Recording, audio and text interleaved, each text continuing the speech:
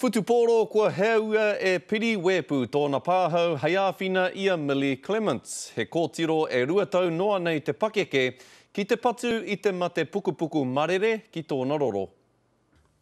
He pāhau i whakaaro tēnei uri o Te Whakatōhea me Ngāi Tahu ki te whakatipu i te whatitanga o tōna rekereke i roto i tēnei tākaro he ono marama ki mua. Inā mai tērā, ka puta te pātai tērā pea ka taea ia te whakamahi i ēnei pāhau hei kohi huruhuru hei āwhina i a Millie e pokea nei e te mate pukupuku ki tōna roro. She got asked by a friend of mine to um, shave it for a young girl who's uh, obviously been diagnosed with brain tumour and she's uh, halfway through like 52 weeks of her treatment.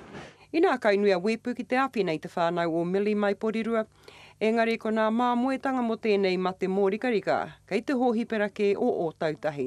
I put my hand up straight away and said no no worries and got behind it so you know there were times where I wanted to shave it off earlier but uh I held on till till now so I was pretty happy and uh you know hopefully I can get enough money fundraise for the uh for Millie.